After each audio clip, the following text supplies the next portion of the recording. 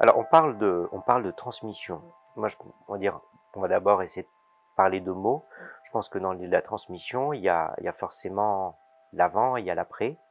Euh, il y a justement l'idée d'une trajectoire, je pense. Ça veut dire encore une fois, il y a un point de départ, il y a un point d'arrivée. Il y a l'idée d'une temporalité, d'un avant et d'un après. Et il y a juste l'élément qui est d'un point A à un point B. Ce qui est intéressant dans la transmission, je pense que c'est encore une fois, c'est ce qui se passe entre les deux.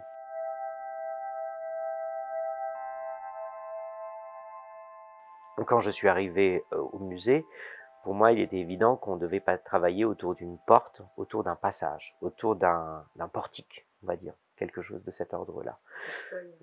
Il faut, il faut la traverser, en tous les cas, il faut, vivre ce moment-là pour pouvoir, euh, pour pouvoir, qu'il se passe quelque chose. Encore une fois, je ne suis pas en train de trouver la solution, je suis en train de pointer, je suis en train d'exprimer des choses qu'on a peut-être évitées.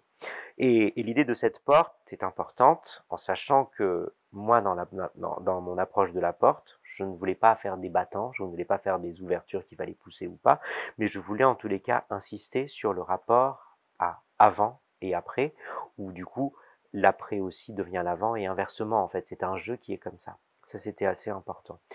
Du coup, d'où cette euh, pièce textile qui joue, qui en fait qui, fait office de rideau, qui en arrivant, on est dans le jour, on arrive dans le noir, donc on, est face à un élément noir, donc on traverse pour aller voir l'exposition, mais le retour se fait en couleur, donc on, se, on reprend les couleurs pour justement aller vers la lumière.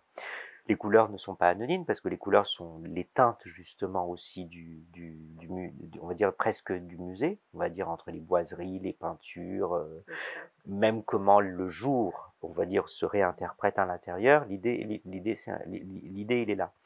Et alors ça, c'est la, la, la, manière, on va dire. Euh, la manière directe d'aborder l'œuvre. Après, il y a une autre manière pour moi qui était qui est aussi intéressante, c'est qu'aujourd'hui, euh, depuis le début de notre conversation, j'arrête pas de parler effectivement de trilogie, de, trois choses en même temps. On n'est jamais sur la dualité ni sur l'individualité. Et du coup, l'œuvre est composée en fait de trois pièces. Donc on est sur un triptyque. Un triptyque, qui est en vérité, il y a six pièces. Ça veut dire qu'il y a trois à l'envers et trois à l'endroit et inversement, comme on veut. Et l'idée de cette trajectoire aussi en trois temps nous donne finalement trois chemins. C'est important. Je pense qu'il y a le chemin de la raison, donc ça veut dire qu'on va aller voir l'exposition, mais il y a aussi les chemins de la perdition. Mmh. Et là, je pense que dans le musée, il y a des vrais questionnements. Est-ce qu'on va justement dans une autre exposition? Est-ce qu'on va voir euh, justement l'aquarium? Est-ce qu'on va aller voir autre chose? Je ne sais pas. Mais, mais, mais encore une fois, c'est la vie. Euh, la vie en deux couleurs, la vie en tous les cas pas en deux couleurs, mais la vie en deux temps. Euh, et je reprends presque, presque des éléments presque du vêtement, c'est qu'il y, y a effectivement l'élément de l'apparence, ça veut dire l'extérieur, et on a l'élément de la doublure. Est-ce qu'on est dans, dans ce jeu-là? Et, et je pense autant on peut transmettre beaucoup de choses aussi sur on va dire sur ce que l'on porte, sur ce qui est apparent, mais on peut aussi porter beaucoup de, transmettre beaucoup de choses avec ce qu'il y a à l'intérieur, avec la doublure que l'on a. C'est une sorte de double personnalité. Je, raconte des histoires parce que c'est un peu ma manière de raconter, de raconter les œuvres, mais, mais, mais pour moi c'est c'est ça. C'est l'idée du portique, il est là. À la fois, on peut aussi rideau de scène où c'est le début. Donc euh, on rentre dans le noir et, le rideau se lève et, les choses et les choses passent, les choses vont se faire.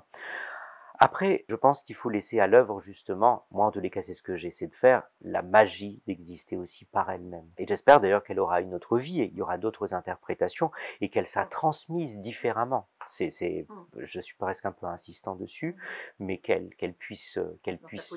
Bah oui, c'est ça. Elle, elle, J'espère même, elle peut elle-même être presque dissociée. Elle pourrait à un moment finir peut-être au sol. Là, on, repart sur des discussions peut-être un peu architecturales, mais est-ce qu'aujourd'hui il va pas falloir l'enjamber ou justement l'écraser? Est-ce qu'il va pas falloir, falloir la suspendre justement? Mais, c'est ça qui est intéressant. Euh, moi, je, on va dire qu'aujourd'hui, quand je dessine un, projet, je, je, effectivement, il y a des esquisses, il y a des dessins techniques, c'est assez précis. Mais mais il faut laisser aussi aux œuvres leur petite liberté et leur accident, on va dire, au dernier moment.